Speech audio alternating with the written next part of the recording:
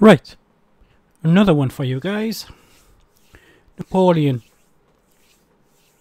What colour was his uh, cloak? Red or is it yellow?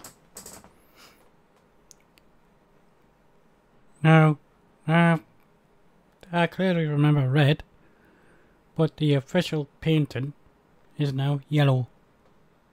Hmm. Go figure that one out. Isn't this a strange one?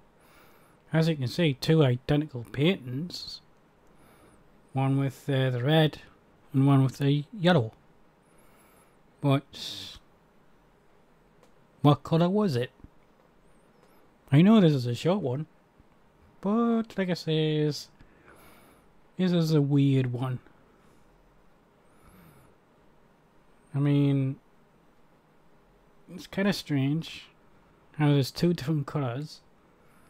Red, I assume he, he was all for power mad and all that stuff.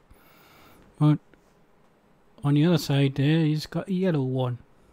Hmm. So, I throw down a question. What colour was he?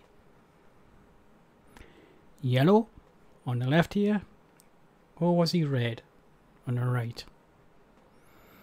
Hmm. Peculiar question, yes, I know, but hey ho. Go nuts.